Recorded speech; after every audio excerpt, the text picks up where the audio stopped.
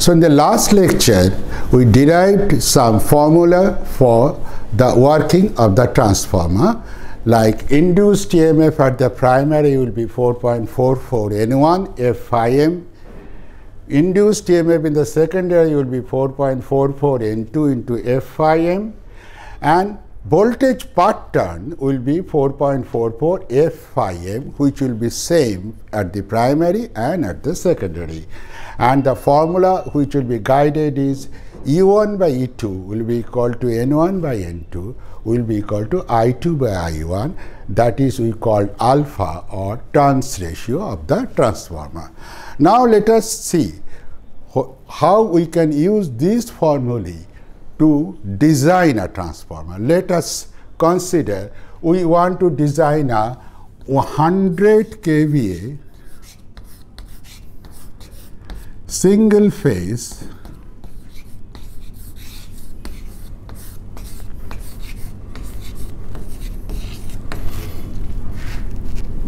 11 kV by 240 volt.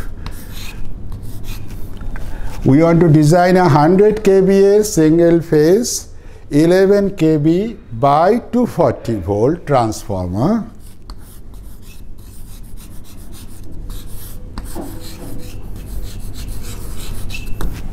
with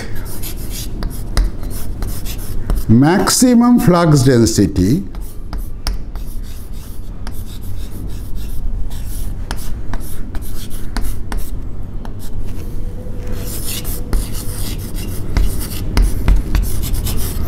say 1.3 Weber per meter square and area of the core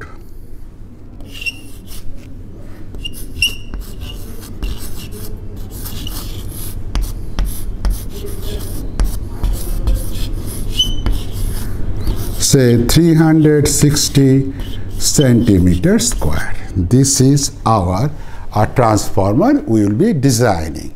Now what to, what to find out in the design? We'll have to find out how many turns will be required in the primary and in the secondary, how much current will be flowing with this 100 kVA load at the primary and at the secondary.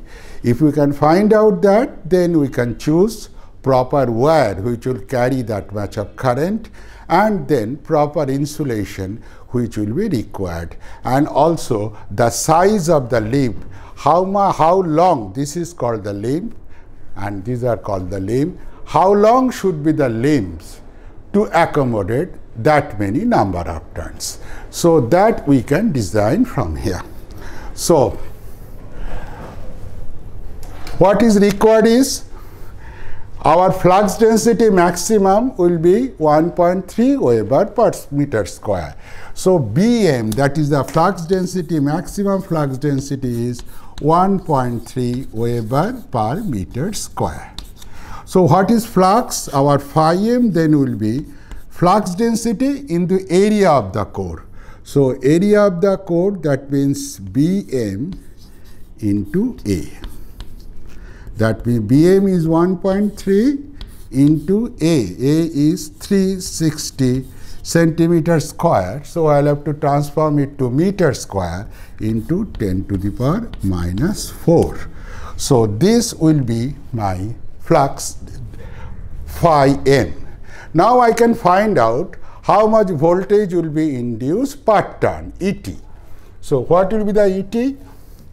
ET will be 4.44 huh. this frequency is for all Indian condition. Frequency is 50 hertz.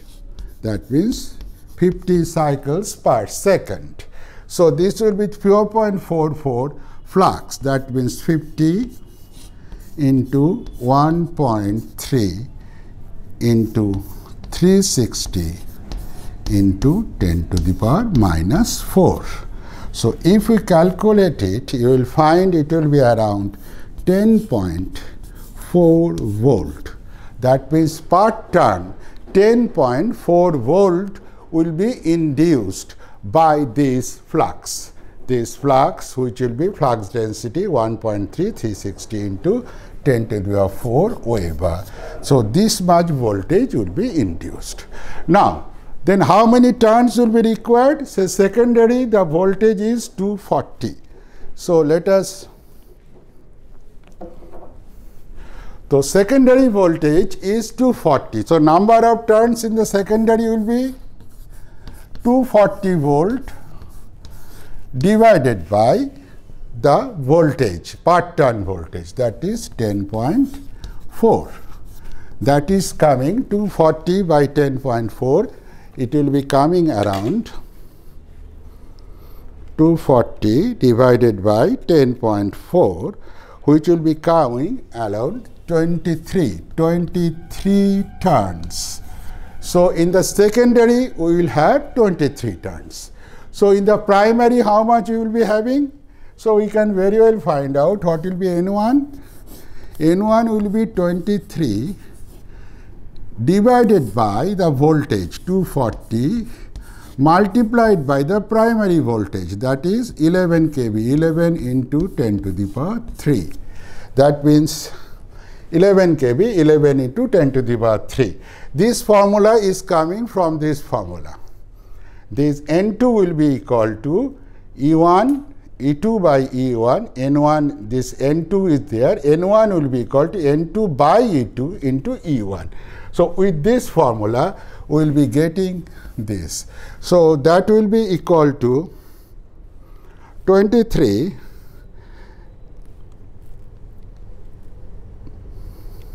11 divided by 240.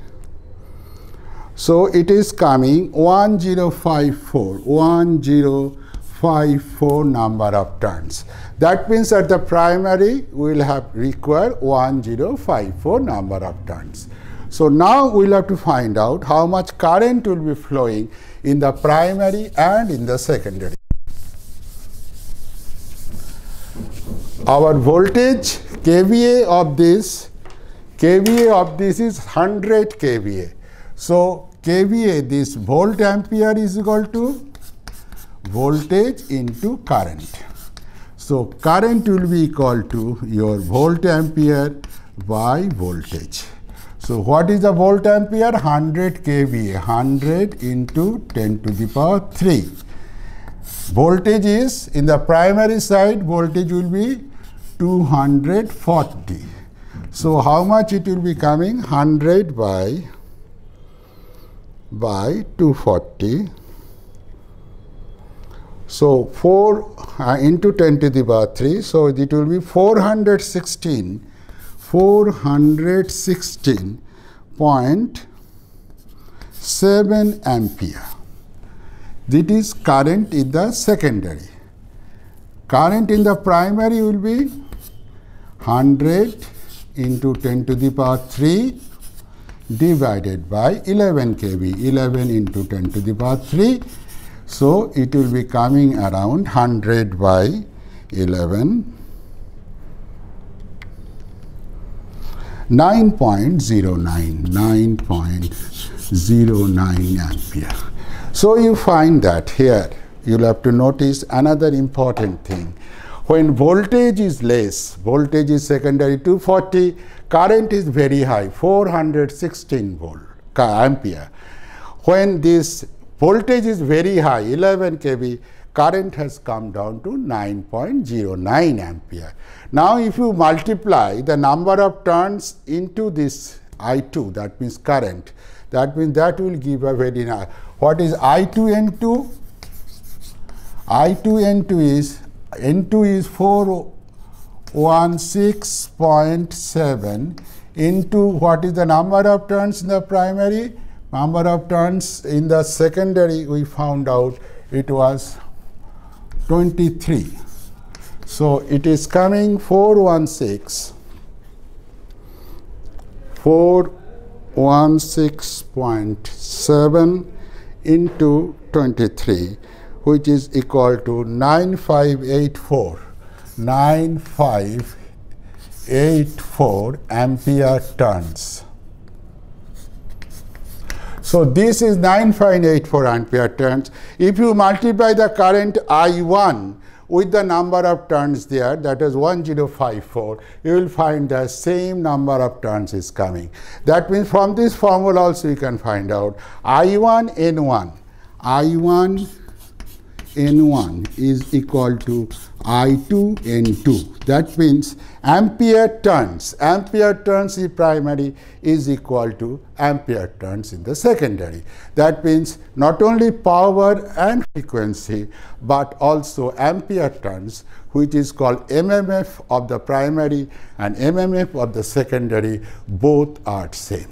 So now you can find out, we'll have, we can now design the transformer we'll have to choose proper conductor, copper conductor to carry this much of current and we'll have to find, make the length of the core in such a way that it can accommodate 1054, 1054 number of turns at the primary and as a primary winding and 23 number of turns in the secondary winding.